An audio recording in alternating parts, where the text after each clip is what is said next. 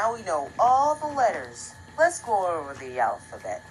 A, C, D, E, F, G, H, I, J, K, L, M, N, O, P, Q, R, S, T, U, V, W, X, Y,